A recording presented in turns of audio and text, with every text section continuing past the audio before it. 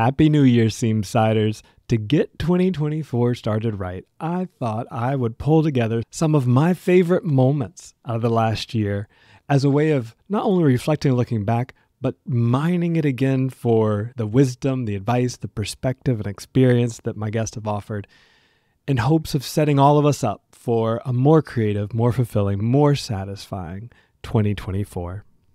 But before we jump into that, couple notes of housekeeping. Number one, I continue to love your reviews rolling in. They are so sweet. Listen to this one from Ann N J. I'm assuming you're writing from New Jersey. If so, thank you very much. Ann says, Zak always gets me thinking. Five stars. I love this podcast because it never fails to inspire. Zak's take on creativity are something special in the quilting world. If you know what Ann's talking about, you're listening to the sound of my voice right now and you think, you know what? Seamside really is something special in the quilting world. I sure would appreciate your kind five star review on Apple Podcast. It is the best way to help other people discover the magic that is Seamside. If the beginning of a new year has you scratching your head and wondering how are you going to invest in yourself and your creative practice, how are you going to find your quilty creative community? Y'all know what I'm going to recommend. I love the Quilty Nook every day that passes, it just gets more and more special. And that's very little to do with my role in all this. I just set the ball rolling and it's picked up steam, y'all. It's like this beautiful quilty snowball. So if you're interested in meeting like minded creative folks, you want a little accountability in the new year, perhaps, when it comes to creative projects, or maybe you just want some company. You like the idea of sew in circles almost every day of the week and workshops once a month. And I haven't even told you about our new experimental quilt along called Destroy This Quilt. I'm just telling you, there's something happening every day on the Nook. There's so much to love. I hope you'll join us. Check out that link down in the show notes below if you're curious for your free trial to the Nook in 2024. Now, y'all, when I sat down to begin thinking, who would I pull in from the last year of Seamside? It was a lot more challenging than I thought. I had no idea. I thought I'd be able to just click, click, click and be done. But I don't know about you, but these conversations for me have been deeply inspiring and formative in my own creative practice. And so to just pick you know, half a dozen clips really turned out to be tough. In the end, I tried to pick a wide variety of folks who were sharing stories that inspired, that motivated, or offered some kind of insight or perspective.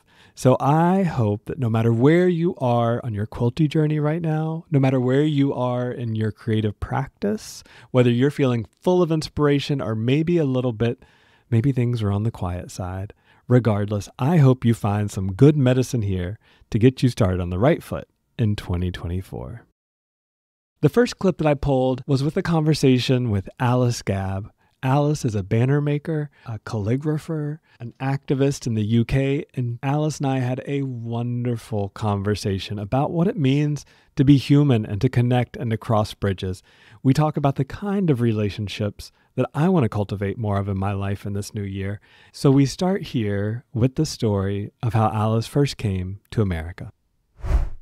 I was 30 and it was when I, my calligraphy career was kind of really taking off. And I was part of a network of calligraphers that were very much based in the US because it's it was much bigger there than it was in the UK. It was we were just kind of following on from them.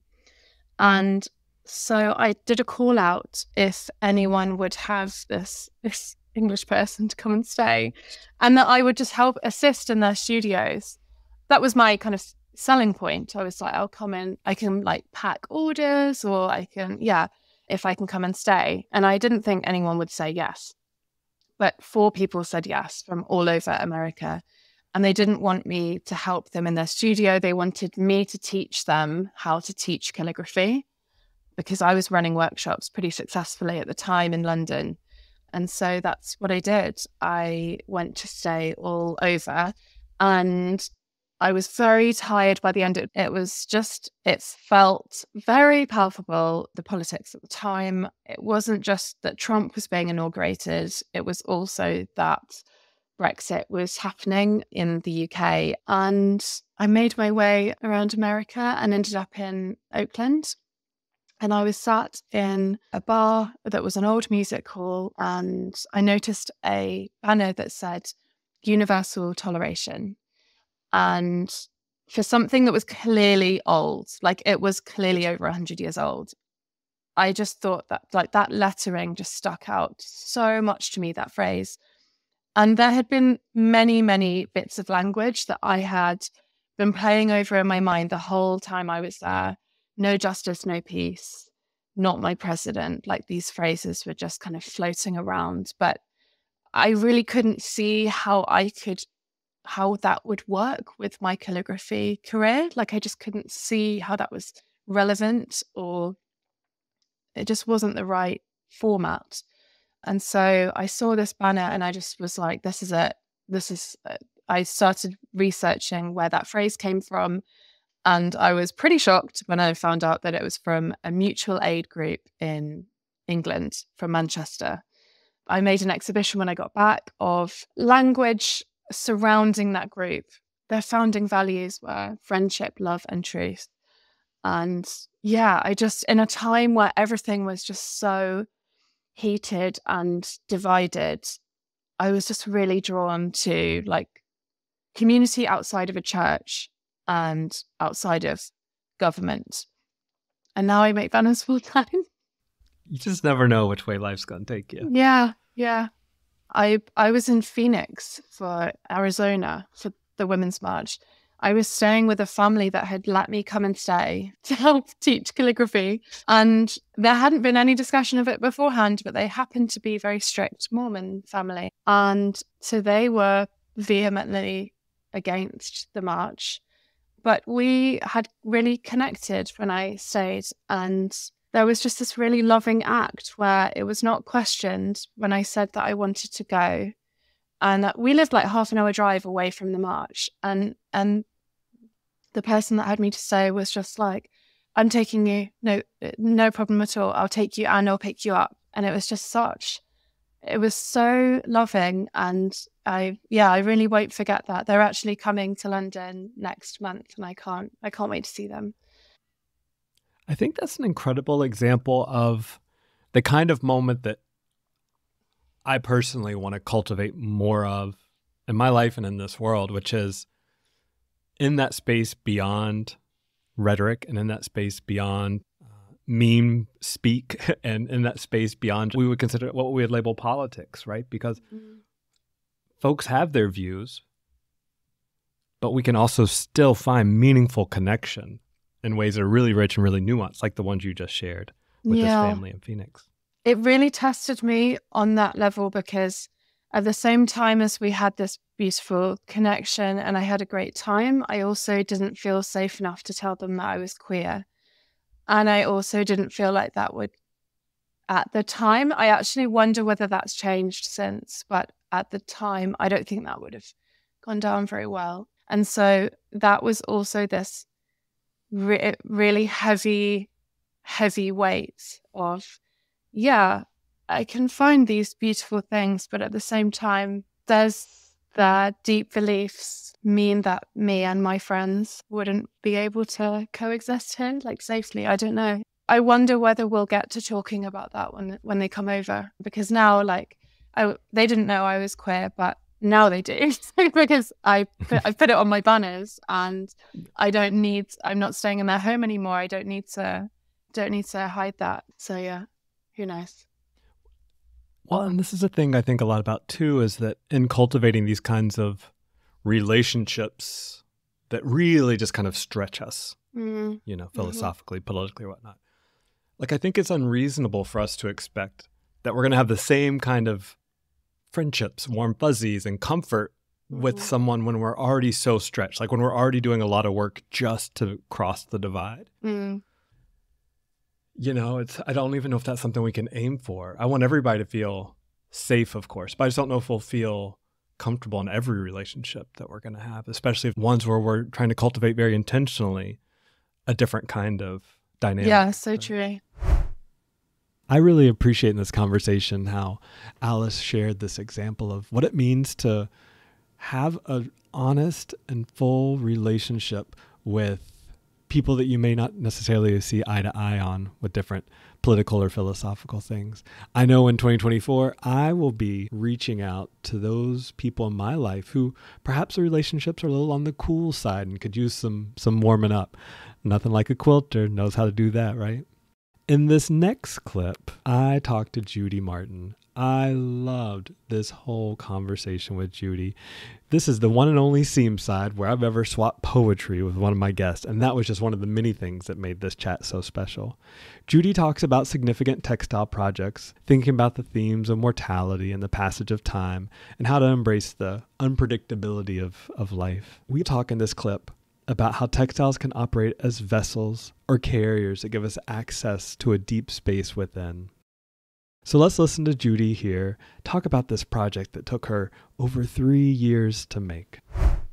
I think I was 58, and um, I thought I'm going to be 60 one of these days. So on my 58th birthday, I started working with an entire skein of embroidery floss for each day. I just did a daily practice of stitching this whole thing onto a piece of artist canvas. Uh, I it was uh, big enough for my lap. I, I held this canvas, and I would take all my extra cloth, my found cloth.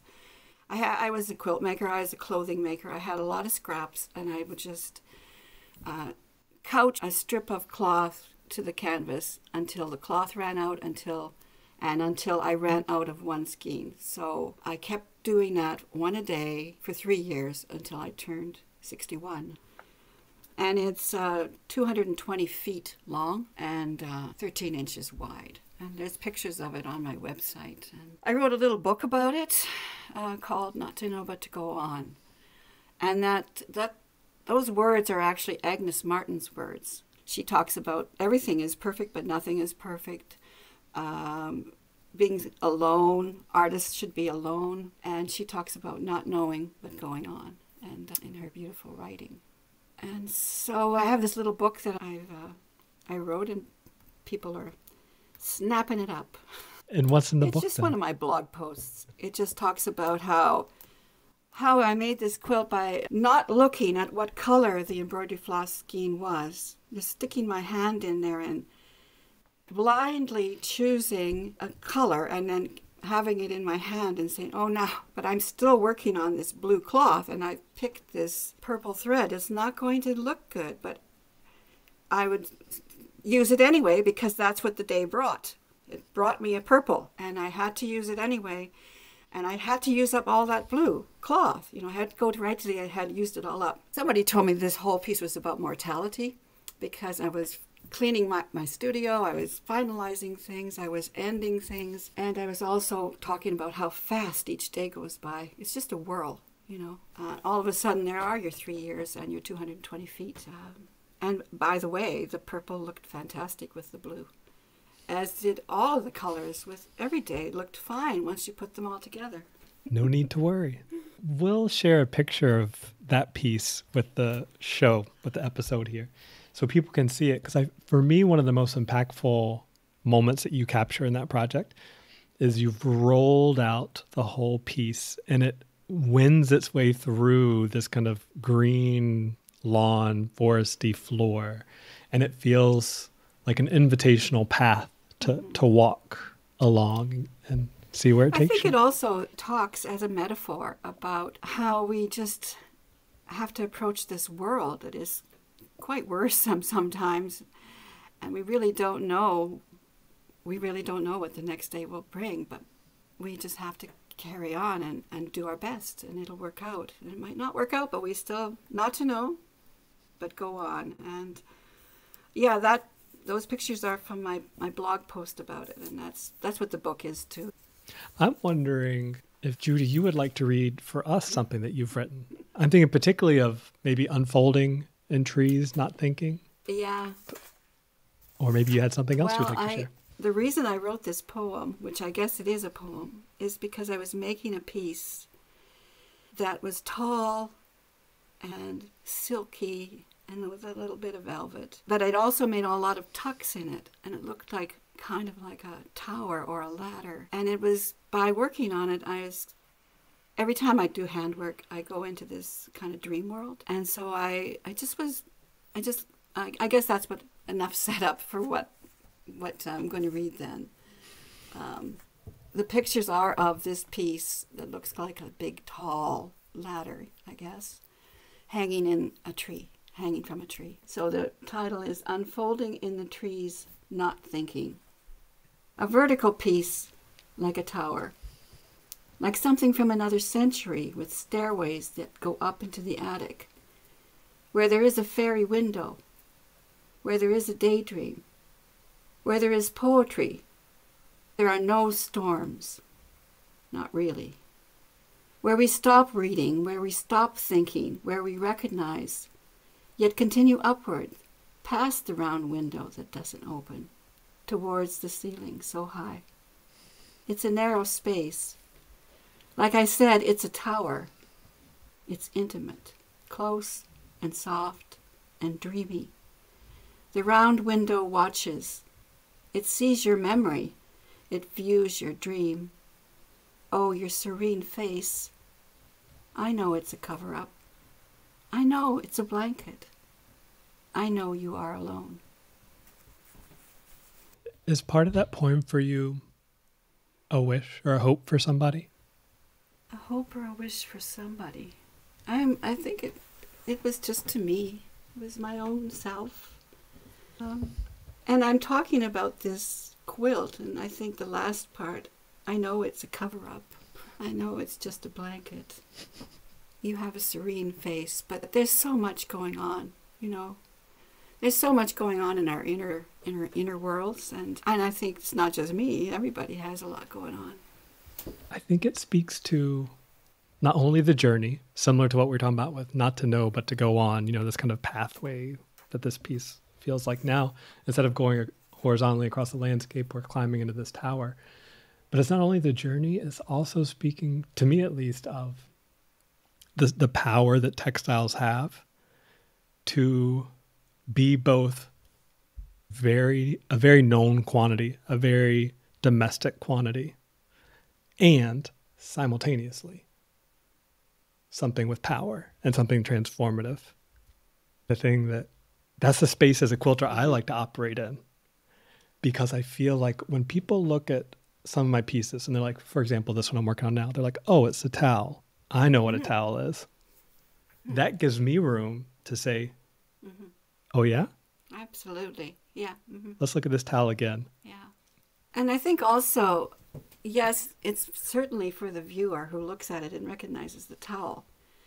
But it also is for us, the makers, when we work with the textiles, as we're handling them and as we're making them into shapes and towers or quilts or we are also working with our body. Like our body is repetitively if we're doing handwork which both you and i do stitching. And that motion and being able to it's just something rhythmic that sets us off sets me off anyway as I into this dream world into this huge immense vast place that is the inside of me. And that's why I love making textiles and I want to try and make that feeling in my textiles for other people to get just from looking at because they know what they feel like. Everybody knows what cloth feels like. We touch it all the time.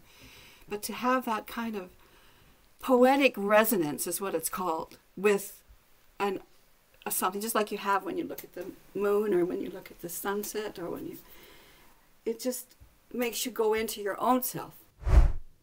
I love how Judy frames her mission. I don't know if she would call it that, but her mission with her textile work is trying to open up interior spaces for people. What a lovely way to look at what we do.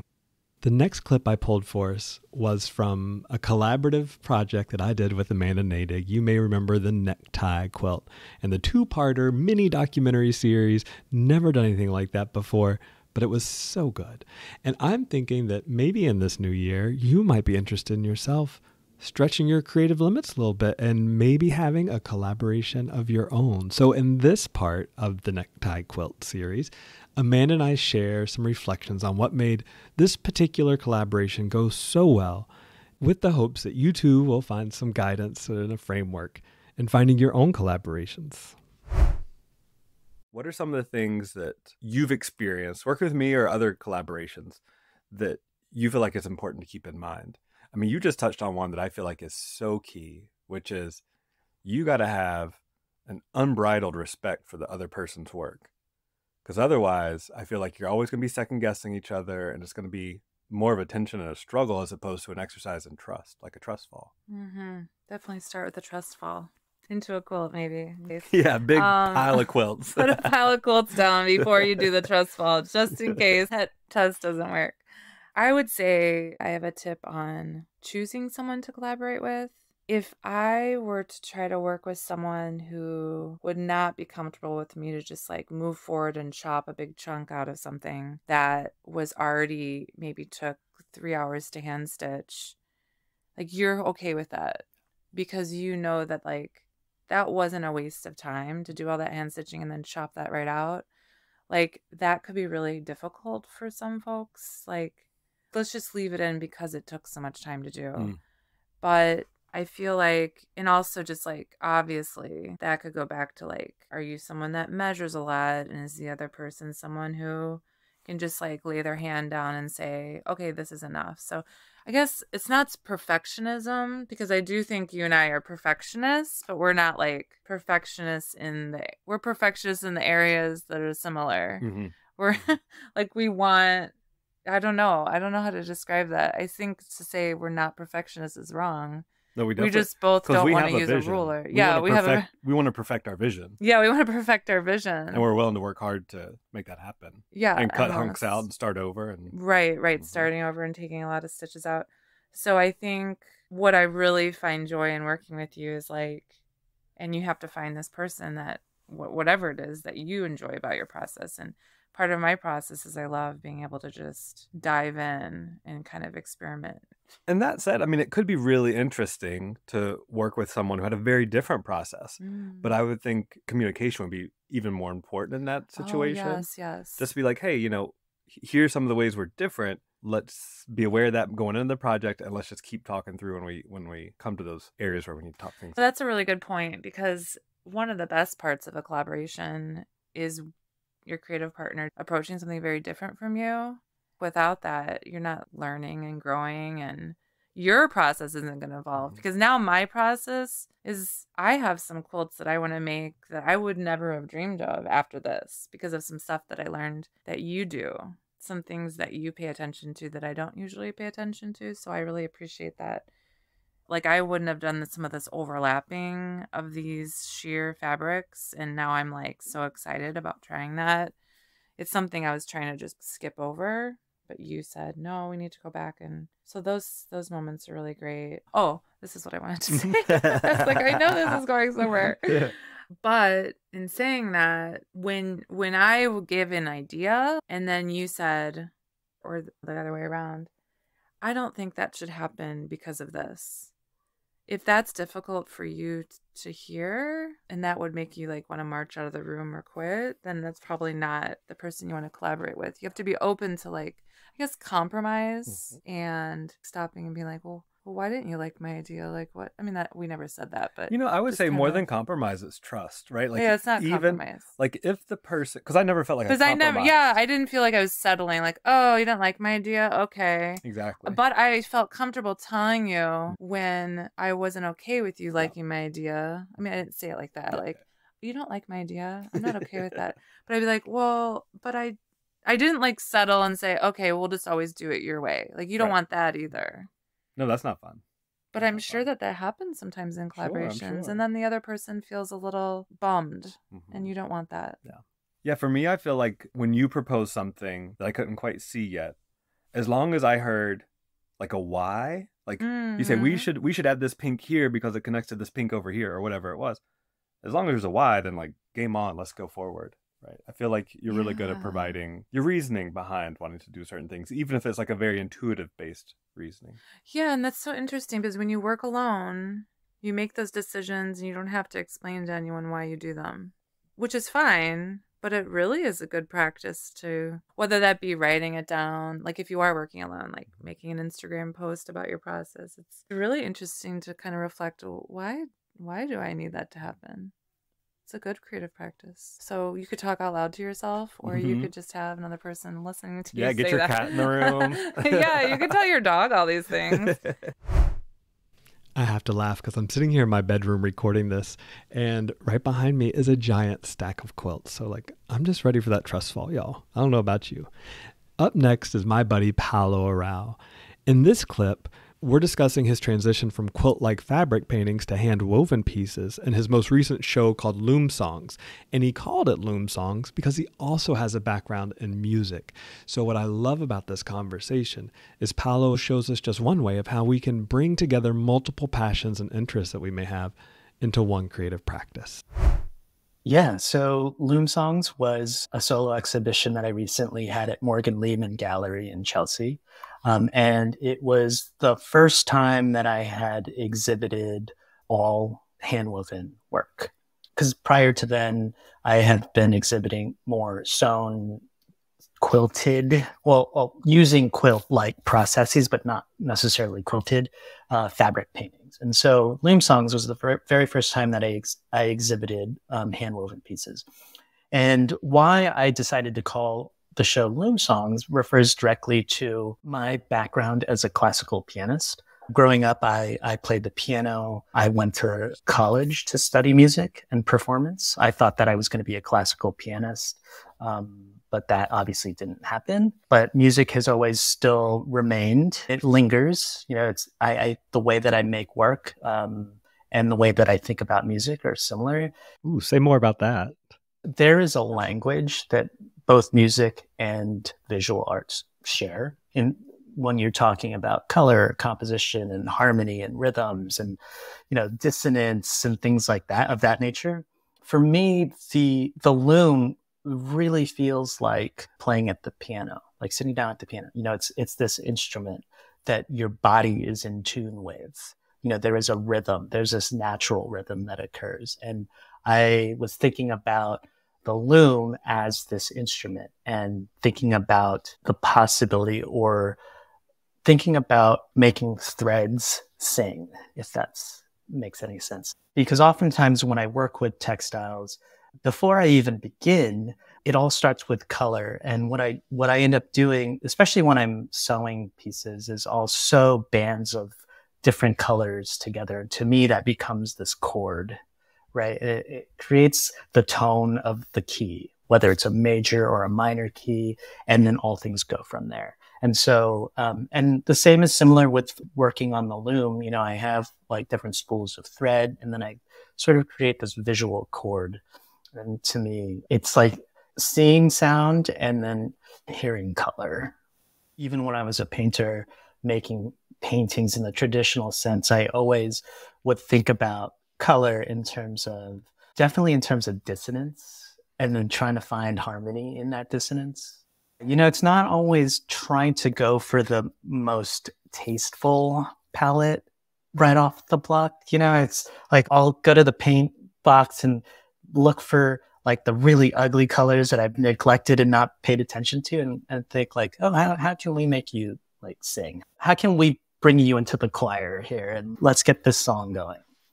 How would you describe the the Paolo Couture custom palette? Like, what is? how would you describe your color sensibility? Oh, geez. I mean, looking back now, I think that there's there's a lot of um, loud, bright, bold colors, and a lot of these colors are referencing palettes that are that are very familiar to me and palettes that I've seen on visits to the Philippines. You know, that there's like these really bold and then sometimes really off putting colors, but then they work in this like really magical way. Like they're not supposed to, but then they do. And they're just intriguing. It's like I can't stop thinking about them.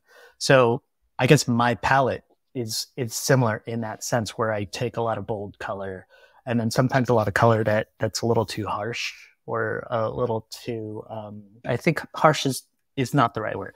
It's a little too loud, I guess. And I just try to make that work. in a way that's that's wrong but feels right. I like just being just kind of wrong, but also like right in the way that I'm I'm seeing it. I love that. I'm writing it down. A way that feels wrong, but is right. Yeah. That's wonderful. Paolo, another piece that I knew I wanted to talk to you about that you made some time back. I saw it once and it just has kind of lodged itself in my mental battery of images. And that was the series of pieces that you made inspired by Filipino sails. Yep. Can you talk to us a little bit about that and what those mean to you? Yeah, so I made those Vinta sails in 2020 when I was on a residency at the Bemis Center in Omaha. And at the time, I was researching a lot of textiles from the Philippines, mainly weaving. But in the book that I was reading, an image of these sails came up, and it just, there was just something that really hit me. It just stopped me because they felt so much like the sewn paintings that I was making. Like there was this connection to not only the geometry of them, but the color. It just felt like I was seeing one of my paintings on a sail, like on a boat, right? I was just like, wow, this is so interesting. And so, you know, these Vinta sails, they're on these outrigger boats in the southern Philippines. And a lot of the people who have these boats make their sails for their boats. So they're highly individual. And I believe that there's there is this festival that happens where everyone breaks out their outrigger boats and then it's just the whole shoreline is lined with all these colorful sails. But it's just it's just breathtaking to think of the color and the pattern floating on the water in that way. Um, it's just really magical. And so I was at the Bemis Center in, in Omaha, which is, you know, the first time that I ever spent a long period of time in the Midwest and in a landlocked state. And so it had me thinking about missing the water because all my life I've always grown up close to the water. And to me, being in Omaha, I was at this residency for three months. It was just, it was this sense of feeling out of place. And I love this idea of these sails having nowhere to go really. And it's just like you know i wanted to see them in this place. It was to me feeling or responding to that out of placeness if that makes sense. And so because i was at this residency there were these enormous installation spaces that were available to us. And that just allowed me to dream big and then also to realize those dreams while I was there. And so when I saw that image, I was like, you know, I have to, this feels so much about what I'm feeling right now. There is nothing quite like textiles to help make a cold, unfamiliar place feel a little bit more like home. And I love that's what Paolo did here with those Vinta sails. Another really tender conversation that I had this year was with quilter Julian Jamal Jones. In this particular part of our conversation, Julian shares his thoughts on how to title his artwork. And there's this mechanism, this dynamic with how he names his pieces that creates these inner circles, right? Julian will say, he's up front with letting us know that he's a private person. You know, he doesn't want everybody in on his business, but he also wants to provide the viewer of his work some kind of a context. And so he does that by pulling in lyrics from rap songs or Bible verses or a variety of places. So let's listen to Julian talk about how he builds those inner circles with himself and his audience. You just said something that made me feel like I haven't done my homework, Julian. and that is you mentioned paper in your quilts. Yeah. Yeah, yeah. Can you talk about that? Absolutely. So, you know, okay, so talking about the pandemic, I was sketching and, you know, you know, I always fell in love with abstraction. And I feel like abstraction is such a it's either a right answer or a wrong answer. I feel like I, I feel like I'm never right when I talk about abstraction. But I feel like abstraction is such it's a way for me to feel private and coded but still put my process and my in my work out there in the real world. Again, I'm a very private individual. I was raised in a very concealed family. There was a lot of things that my parents protected us on. So I feel like a lot of the work that I put out is very it's open to interpretation. I don't want to put a theme or a narrative to the practice or to the pieces. I think now though I'm starting to title my works now. That's a new thing for me now. Titling at in the very beginning was very hard for me to really connect something with my work because the whole goal is for me not to put anything on my audience. I want my work to be, if you walked into a solo show of my works, I want all my works to be open to interpretation. I don't want anything to be forced. I don't want any type of, I want people to leave my exhibit with their own interpretations. But I think now, I think putting or connecting some element within my work I think is more successful than what I used to say about untitling my works. So like the new body, the, the works that I'm making now in 2023 all have titles. You know, some of them are song titles. One one title is from a Bible verse that I did that I like. It's one of my favorite Bible verses now that I think about it.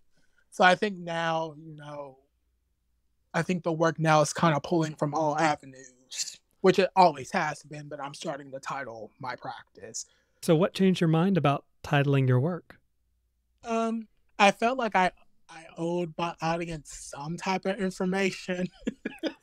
There's one quilt that hasn't been seen yet. It's actually going to London for a show with Truly Art Projects, and I named it Now I Got 32 Flavors.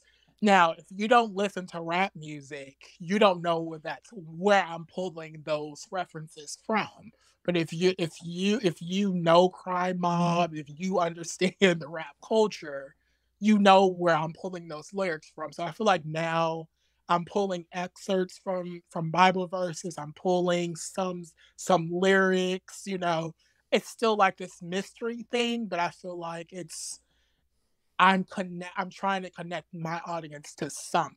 You know, like I'm trying to give them some type of information, but I don't want to give them too much. Well, and you said something a moment ago that I find really interesting uh-huh. about. Naming the quilt that's going to London after 32 flavors. Yeah. That like it almost creates this little test, doesn't it? That if you yes. read the title, Absolutely. you're either in or you're out, right? right? Yeah, and that's exactly what I want. Like your reaction is exactly how I want people to read my work. And I think one thing about me is like I like to tease people. I'm a teaser. I like to I like to put things out there for the world, but I want people to do their research. So it's kind of like rap music. It's kind of like one of those things like if you read a rap lyric, I kind of get what the rapper is trying to say. He's talking about his mother, his baby mama, whatever. I don't know.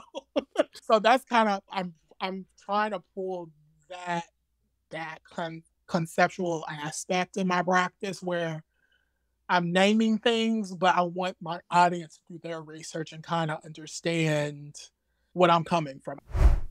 This conversation has me thinking about how I name my own quilts when they get named. They don't always do, but it seems like it's just kind of a natural part of the sewing process to wait and see what words or phrases kind of float to the top of mind as I'm sewing. And so that's where a lot of my names come from, just from the stories behind the quilts themselves.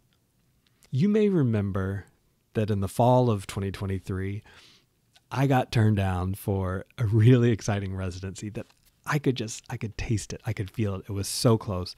And in the wake of that disappointment, I reached out to a bunch of my friends and had them share thoughts about how they navigate those turbulent, disappointing waters in their own creative and professional practices. There's a whole crew that came together for that episode, How to Say Yes in the Face of No.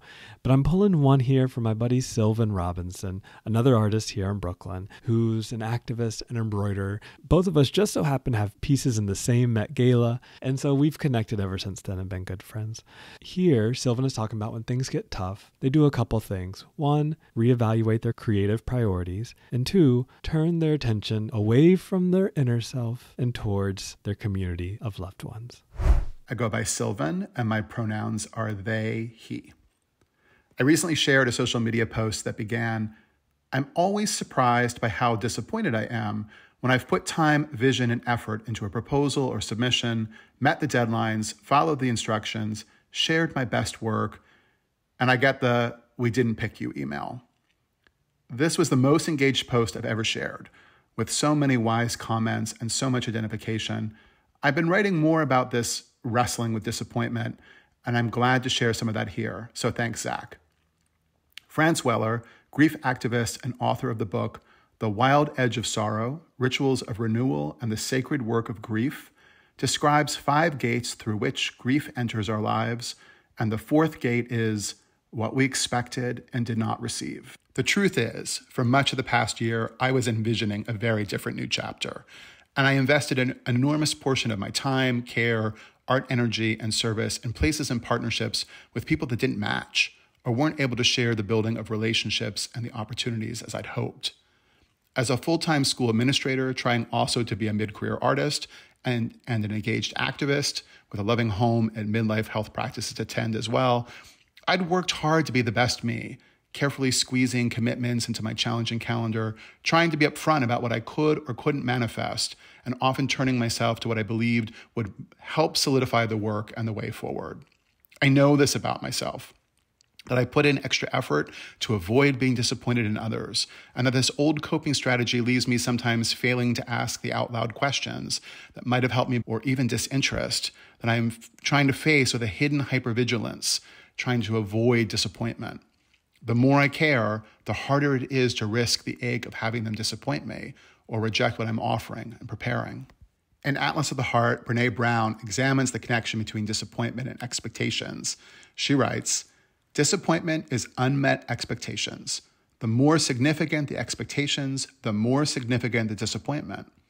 When we develop expectations, we paint a picture in our head of how things are going to be and how they're going to look. We set expectations based not only on how we fit in the picture, but also on what those around us are doing in the picture. That we come away from the experience of disappointment and feeling bad about ourselves and the other person. Our negativity is tinged with the astonishment and surprise, and at the same time, we're trying to forgive, we're concealing the emotions. I know I've had some stellar opportunities over the last few years, and so I can feel this ache as also a kind of a lack of gratitude or even character weakness. But there's something about saying the hard part out loud, the feelings of being let down or excluded, the ways in which the time and effort felt like such a setup for disappointment. And when I name it out loud, as I did in the social media post, the transparency and truth telling also brought the most generous and thoughtful connections with other artists in many different fields. A former student described advice she'd received to call this collecting rejection letters as a way of showing your work. And I've been reflecting on how to better budget for disappointments, to build into the processes of applying for shows, residencies, and career opportunities that are, of course, highly competitive and offering very few actual acceptances, to build in a kind of recognition of what I can realistically afford to risk in terms of energy and potential outcomes. The old, you can't be selected if you don't apply, is true, but there might be also other labor that could yield better potentials that I want to make sure I'm prioritizing. I think what I'm trying to establish as a personal practice is the kind of middle way that Brene Brown describes in Atlas of the Heart. She writes, there is research that shows that one way to minimize disappointment is to lower our expectations. True, optimism can sometimes lead to increased disappointment, and I believe these findings are accurate. But there is a middle path, a way to maintain expectations and stay optimistic that requires more courage and vulnerability. Examine and express our expectations. There are far too many people in the world today who decide to live disappointed rather than risk feeling disappointed. I certainly want to reach my artistic and life goals, and I know that is going to require resilience and a healthier approach to the risk of disappointment. And finally, one of my best personal practices when I find myself feeling underseen or missing out on what I wanted to achieve is to increase my care and attention for others.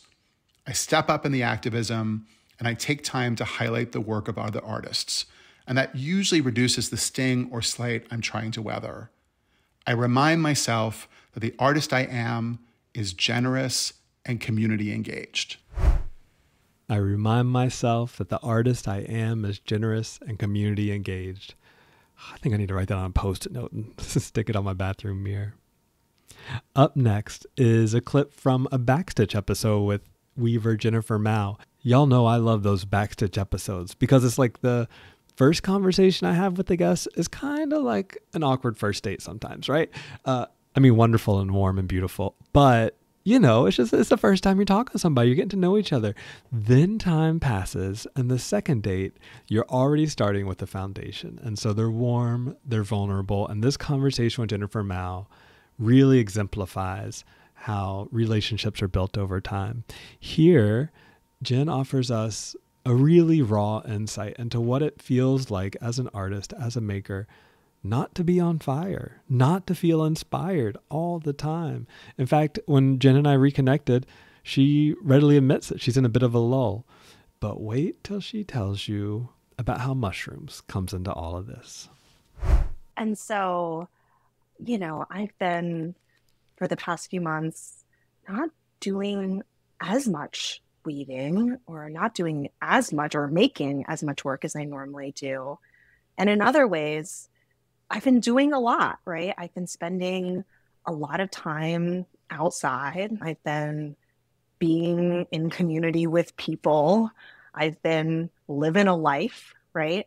And so that's something that I'm really thinking about a lot these days is what does it mean when you're in a place where you're not moving quote unquote forward and when does that indicate stagnancy and the indication that maybe you need to do something different you know that your body and your mind and the you know the world is giving you signs? Like when is it a sign of, of stagnancy?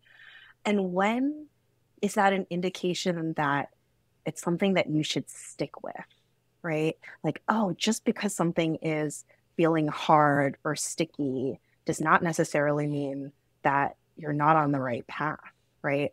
Um, and so those two things are in tension with one another and outwardly it looks exactly the same, right? That you're standing still. So I think I'm sitting a lot with that feeling right now. Well, how do you begin to sort all that out for yourself? Like, how are you feeling, I guess, emotionally about not weaving as much as you used to? Yeah. So I think that I have a lot of internalized stuff around productivity or what it means to be moving in a good direction, right? So the idea that, all right, progress is linear. And from year one to year two, year two to year three, there's going to be sort of this clear through line. Sometimes that's the case, and sometimes it really isn't. So I think that's one thing that I'm really trying to pause and interrogate. So as I'm feeling things like, oh gosh, like, why aren't I feeling more excited? Or I should sit down at the loom to weave because once you get started, then of course this excitement takes over, right? So you have all of those woulda, coulda, shouldas, and then I feel like I have to just take a step back to say, and also it's completely fine to do nothing. So that has always felt really hard for me to do, not only in artistic practice, but in life. So, in some ways, when these kind of sticky feelings are bubbling up, part of it for me is just trying to name it and sit with it instead of really trying to think about, okay, how do I work through this or how do I move through this? So that's something that I'm thinking a lot about. So what what name are you giving it at this point in time as we're talking today? Is the name stagnancy or is it rest or is it space or is it something else? Yeah. Hmm. I think if I were to describe it now, it wouldn't be any of those things per se. I think I feel like right now I'm in a liminal space. I feel on the cusp or on the threshold between one thing and the other. And I'm not exactly sure what's on the other side yet, right? And so this feeling of, I wouldn't say aimlessness or directionless, but this feeling I have a sense that when we connect a year and eight months from now, I'll be able to look back, right, and say, ah, with this perspective that I now have that was impossible for me to have in the moment, I really now see that that was one step that was necessary to get to whatever is coming next. And right now, I have no idea what's coming next. And that feels exciting. It feels scary. It feels like a lot of things. Okay, but I'm so excited for you when you said liminal space and I think threshold and I think the next thing, the unknown. That's so that is exciting. Because I wonder I've wondered this before and I'd be curious your thoughts on it too. Like does does a weaver need to weave to be a weaver? Does a quilter need mm. to quilt to be a quilter? Does an artist need to make art to be an artist? Mm. Yeah. You know, okay, this is getting me excited because, like I mentioned before, one thing that I have not been doing is weaving, but I've been spending a lot of time outdoors and a lot of time just thinking. And one of the things that I did last weekend is I took a foraging walk in the woods with the Outdoor Institute out in the Catskills, who, by the way, I would highly recommend if you're interested in this type of thing. And Laura led us through the forest and introduced us to different mushrooms, being able to identify different trees and plants. And one thing that really stuck out to me when she was talking about how to properly harvest a mushroom is that the mushroom is the fruiting body of this really vast mycelium network that is invisible and underneath our feet. And so her point in saying this is you don't have to worry that you're going to hurt the mushroom by plucking it because it is akin to picking an apple off the tree you're just seeing the visible fruits, but the tree is still there, the mycelium is still there. And so, as she was talking about this, I was really thinking about the metaphor between mycelium, or even thinking about the environment or like the terroir, that parallel with creative work, right? Which is that the fruits or the mushrooms are the things that you make. And there is always this network of things happening beneath the soil that is it's necessary to nourish that piece or that network or those ideas or whatever it is that is the environment that makes it possible for you to create work for you to do it.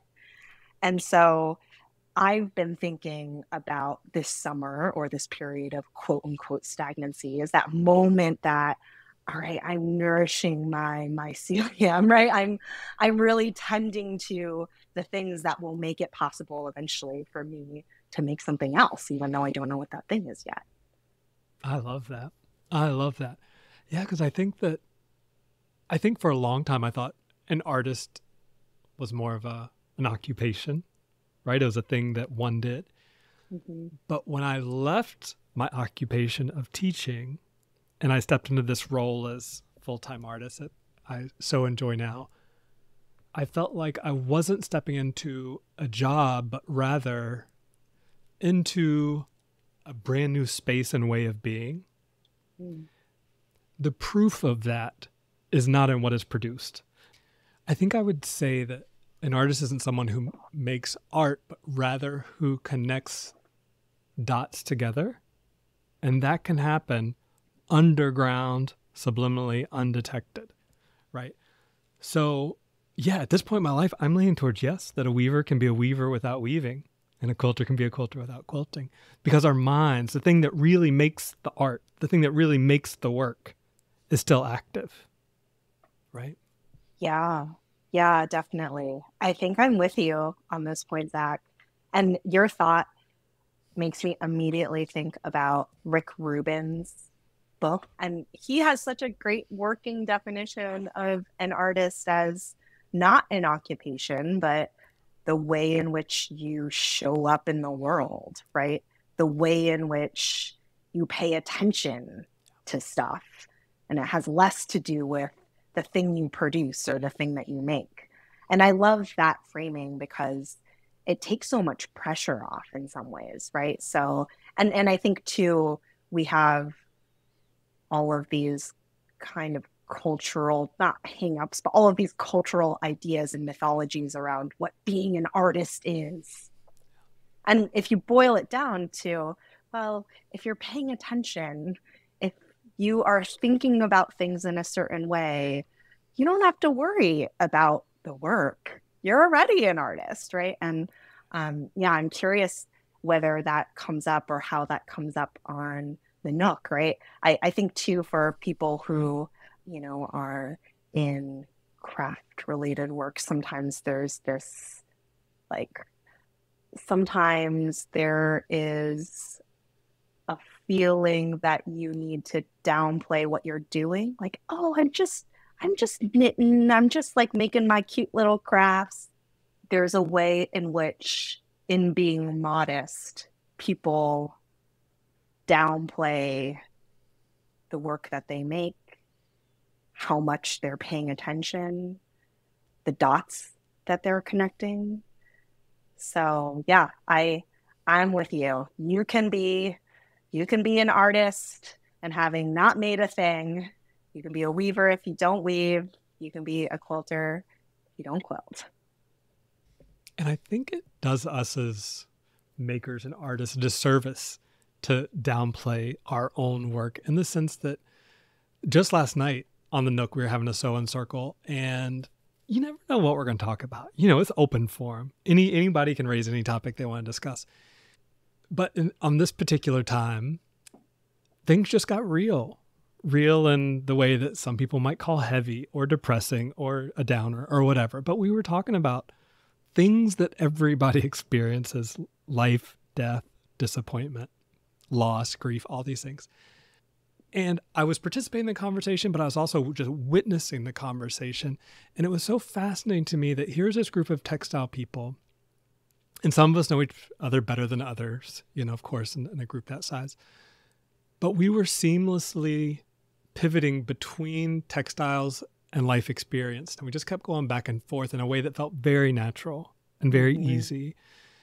And I think for the first time in my mind, at least this clearly, I saw that one of the things that makes textiles so special that way, so intimate that way, is that as humans, we have chosen to incorporate textiles into some of our most memorable, notable life events, right? Mm-hmm. A baby's born, what do you wrap it up in, right? Uh, you're graduating, what do you wear, right? You're getting married, what does that look like? You go into a hospital, what do you wear there? And at the very end, I mean, one of the, my most recent memories of the importance of textiles is when my grandma passed away recently. And my cousin and I got to go into her closet and have a little fashion show and like, oh, we think we should bury grandma in this. We think we should bury grandma in that. I mean, we made light of it, but it just gets to the point that when we encounter, when we experience some of our biggest life's moments as humans, we don't have to look too far to find textiles. They're right there within arm's reach. And so when we say, oh, I'm just sewing, I'm just weaving, I'm just knitting, it's not only downplaying this way that you've chosen to spend your time, but I wonder if in a way that also minimizes our own lived experiences. That I wonder to what extent the things that we make and the things we experience in our lives are connected and one and the same.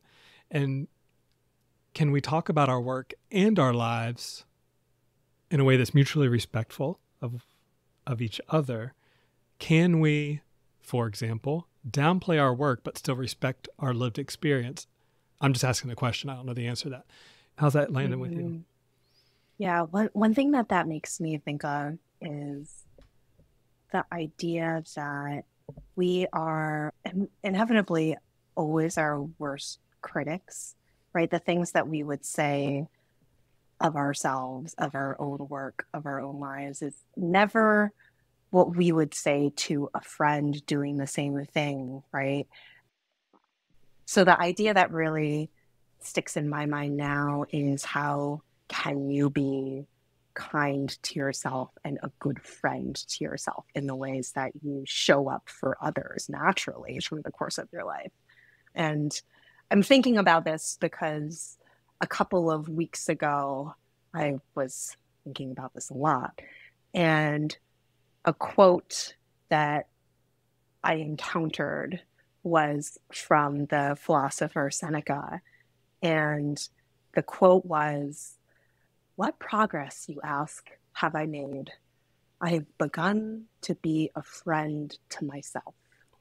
And I love that, right? Because I was thinking so much about stagnancy. I was thinking so much about what am I even doing? And the idea of trying to know myself, trying to nourish the network, the mycelium network that makes it possible for me to make things, to be a friend to myself, and having that in and of itself be such an accomplishment is what I, yeah, is really, really sticking with me these days. Will you read us that piece of wisdom one more time, please? Yeah. So the quote is from the philosopher Seneca, and he says, What progress, you ask, have I made? I have begun to be a friend to myself. On the second reading, the word begun really stuck out to me. It's a process, right? Like it's, you don't have to be in any one place. You're already there. You're tumbling forward, whether you realize it or not, and you're becoming. Yeah, I think it also really talks about the idea that your relationship with yourself is consistently ongoing. And it's the easiest thing to ignore because it feels one and the same, like, oh, I am just me.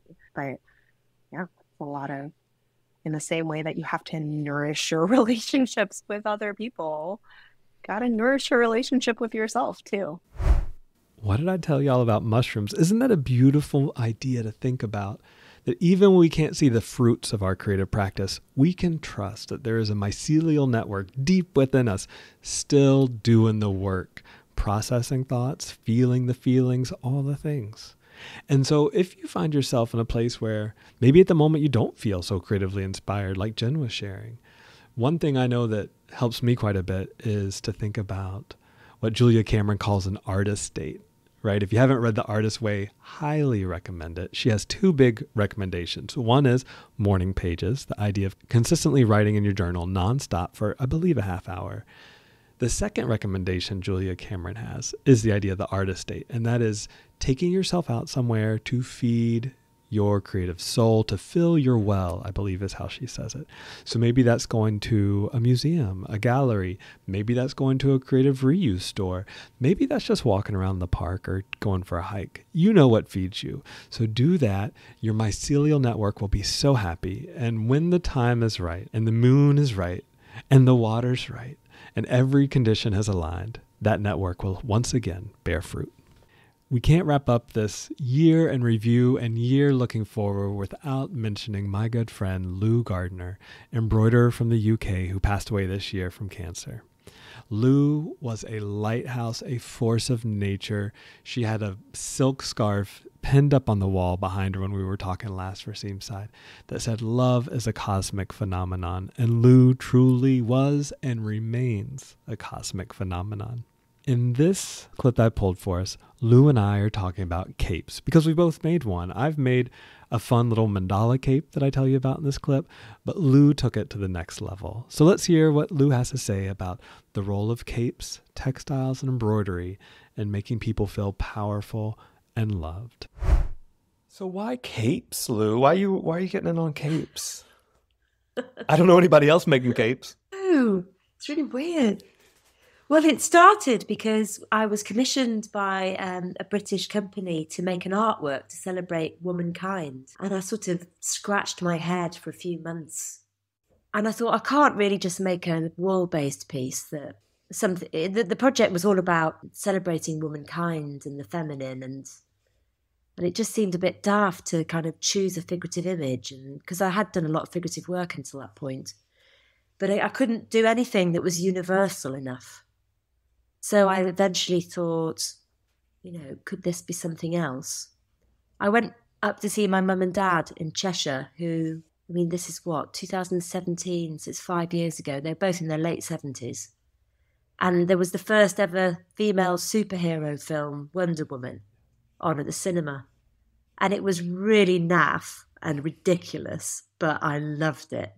I mean, I, I, I just loved the ridiculousness of it and the fact that it was finally a superhero film with a woman um, as the as the as the hero heroine hero. I don't know what you say these days. It's, I'm not never quite sure.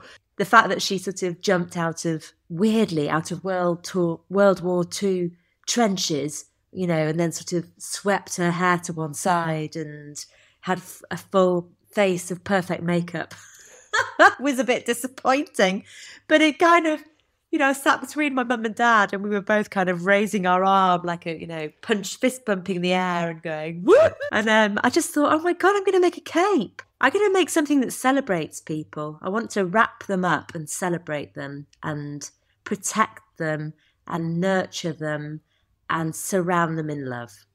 So I just went to this this um, company and I just said, how about I make a superhero cape for women? To celebrate women. And that's how it started. Well, and I heard you say in an interview at some point too that one of the things this cape does is it turns the wear into the artwork. I don't know if I'm quoting yes. you exactly, but is that the idea? Yeah. Yeah, you've done your homework. I was really looking forward to this conversation, Lou. I've been getting ready. oh, that's so nice. Yeah. So I have made one cape in my day as well. I've made it yeah. in the last year and it was I was doing for a long time a daily mandala drawing practice. Nice. So I I've had, I mean, for a decade, I've had like a daily journaling practice. And so I just lumped in a mandala drawing practice. Towards the end, after several months of drawing a daily mandala, I decided I want to turn into a textile piece, into a quilt. I think being informed by all the circles I had been drawing, I was like, I'll make a circular quilt, which I had never done before. And then from there, I was like, well, what if I could wear it? And so I cut a hole in the middle of it for my head. It's just like a giant poncho, basically. Yeah. You know, imagine like a giant fabric donut. You, I, I so know what you mean. but what I love about it is, so for that project for me is it's kind of like my personal mythology, my personal narrative, right? That yeah. through the exploration of the mandala and the work that I've been doing, um, one of the ways I see myself is kind of like the the keeper of the lighthouse, you know, and not the only keeper of the only lighthouse. There, there are many of us out there doing the same work. But I have a little yeah. lighthouse that I tend to, and I'm just spreading that light out into the world and helping people find yeah. a way. You know, yeah. that's how I see myself at least. And so the this mandala cape is that lighthouse, is that light spreading out, and the joy going out. A big smile is the is the light at the top. Yeah. And so when when you put it on, it literally puts you in the center, puts me in the center of that universe right? It yeah. puts it puts my head at what would be the the the light of the lighthouse, and so it becomes yes. interactive in that way, positional, geographic in that way. Yeah, and sort of um, ceremonial, which is so important at the moment. Get back to ceremony and simple acts that can ground you and connect you. For so many reasons. Um, some of the reasons would be that in a lot of ways we don't have a common set of traditions anymore. You know, we live in multicultural societies. Certain traditions are just kind of fallen by the wayside that used to provide for us a lot of structure and comfort and support, gave us a sense of a roadmap of moving through yeah. life. And so we need, I feel like the artist, one of our roles in the society is to help people see a new roadmap. Yeah. And if somebody sees my work and they don't like that roadmap, well, then that roadmap's not for them. But if they do see what I'm doing and it resonates something yeah. in them, well then let's walk down that road together absolutely. yeah yeah. And i think it's yeah it's about having the courage to to stick to your with your belief system because yeah I got them all full of the quotes today but there's another quote where um, he who does not howl will not find, find his pack i love it. And it's um, i love that quote because it's like you know imagine this wolf you know you can imagine a wolf that never howled.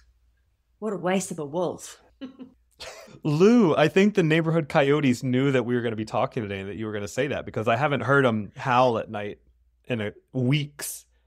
And I heard one lone coyote last night. Oh. Did you howl back? Well, I was in my bed. Oh, howl anyway. they must have really good hearing. So just have a little howl in bed. there you go. I will next time. Well, next time you wear your lovely cape, you could howl in your cape. I hope you found these Seamside selections inspiring, motivating, and insightful, helping put you on the right path for a productive and satisfying 2024. Between now and the next time we meet, if you're looking for some creative company, maybe a little accountability in the new year, maybe you want to push your creative boundaries. Remember, there's always the Nook. The door is open and we are ready for you. So come by anytime. You can find a link to your free trial in the show notes below. Until then, I hope you're up to something good. I hope you're sewing something good. And I hope to see you soon, maybe in the Nook. Who knows?